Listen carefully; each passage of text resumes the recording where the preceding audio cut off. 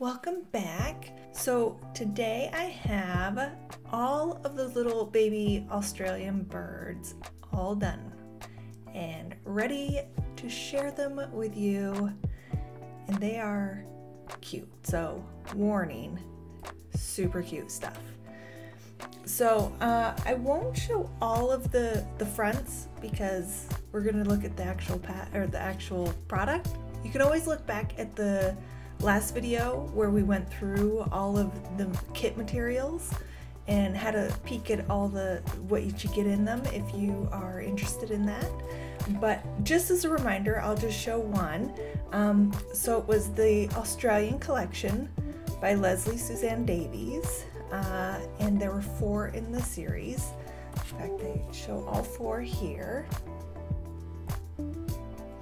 And um, they are uh, designed and distributed in Australia. So uh, they are a regional pattern. You can order them uh, from Australia and have them shipped over. And uh, again, those details are in the previous video. I will link the store that I bought these online from.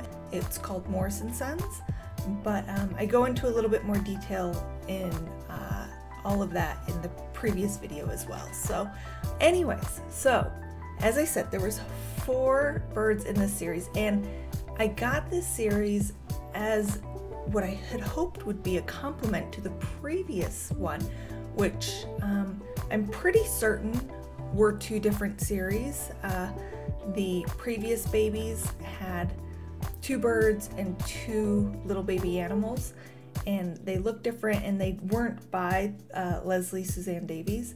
But I think that she designed these four little birds to go with those um, that previous series. At least I think I might pull out um, some some of the others from the previous one and hold them close so you can see and uh, let me know if you think that they kind of look pretty similar. So anyways, but let's look at these ones. Let's look at all the little done babies. So I just showed you the uh, front for the blue wren. And uh, so let me show you that one to start with.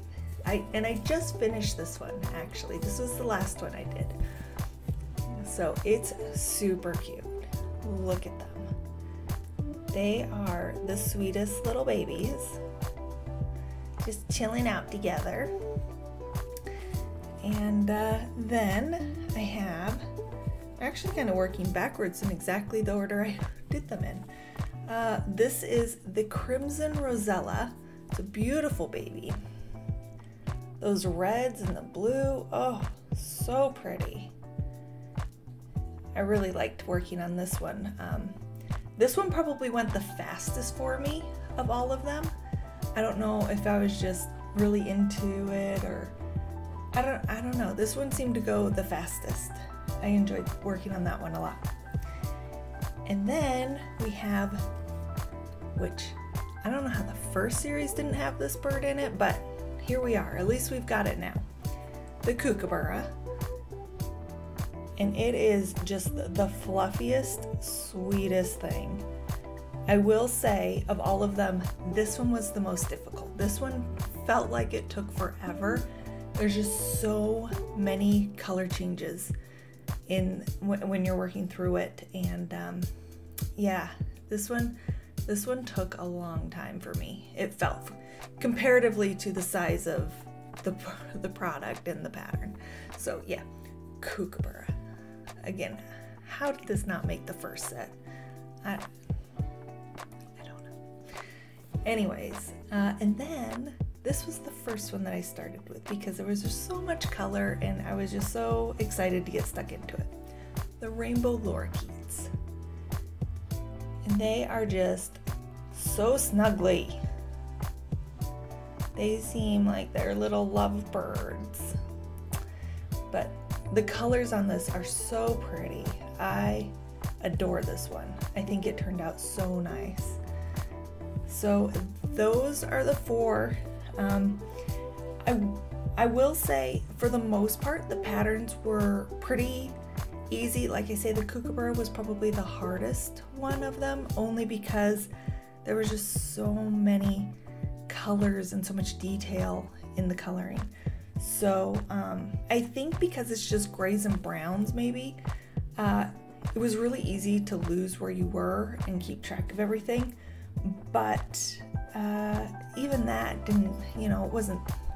When I say it felt like it took forever, it, where the others took me, you know, a week ish, give or take, you know, three or four days, that one probably took me like two weeks.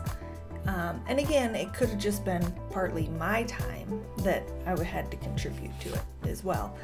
Um, so, the one thing that I want to point out about these patterns or these specific kits that was actually really, really nice. So, I'm going to hold this up fairly close. So, the front of this, the picture they took is pretty close. So, you can actually see the stitches and the outlining and exactly how they did it. So if you have any question at all on the pattern about what it is you need to do or you should be doing or where you should be, it was really easy to turn this over and look at the exact stitching of the model. I found that so helpful, especially with some of the outlining because you know, the outlining it'll say, like, the left runs head feathers. Well, you know, you think that's pretty obvious. You know, just the head, but then you're like, okay, so, but what am I doing these colors? And, you know, you can kind of verify that you're understanding the instruction as they mean them uh, with the front. I found that really, really nice with these patterns. As for the previous little babies, now I haven't ironed these out since I've finished them, but um, just to go back through them really quickly, we had the cockatoo and the koala.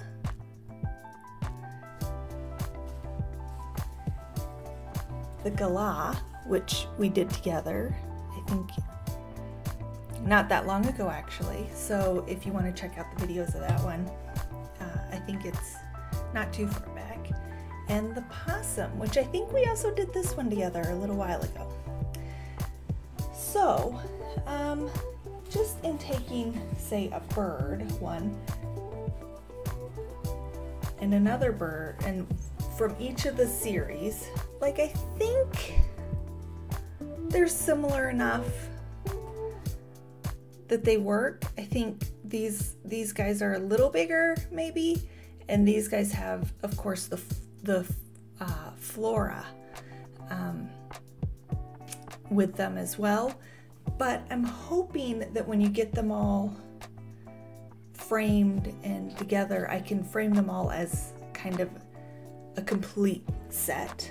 Um, the galah to me, seems about the same size.